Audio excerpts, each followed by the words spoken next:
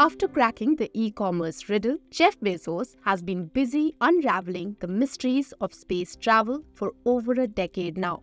The plan to put together a space company, which was later named Blue Origin, had moved from papers to the ground in Texas when Bezos decided to quit as CEO of Amazon in 2021. Aerospace company Blue Origin was established in 2000 in West Texas. Bezos initially tried to keep it under the wraps. Wall Street Journal had reported that Bezos' plan was not known until 2006 when he purchased several parcels of lands in Texas in different names. But all the purchases were tracked back to the same address. The company got two rounds of funding from NASA. First funding of $3.7 million came in 2010. Then another round of $22 million came next year, helping Blue Origin take off its projects in a big way.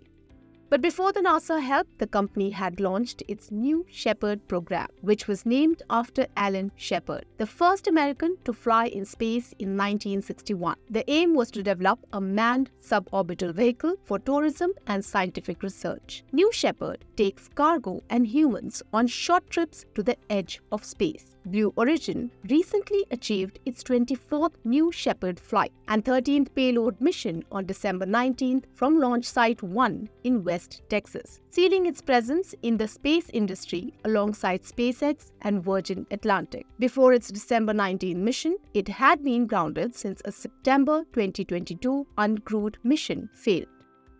The company says that it wants to create a future where people live and work in space to benefit Earth. Blue Origin is engaged in the development of some other rocket engines, notably the BE 4 engine intended to propel the New Glenn launch vehicle.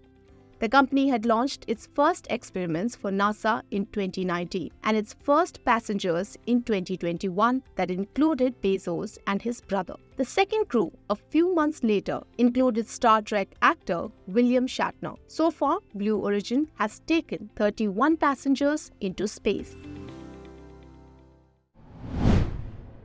If you like this video, share it and subscribe to Business Standard. For more news, views and insights, log on to www.business-standard.com. Do also follow us on YouTube, Twitter, Facebook, Instagram, Telegram and LinkedIn. She has ambitions of becoming a brand. Business Standard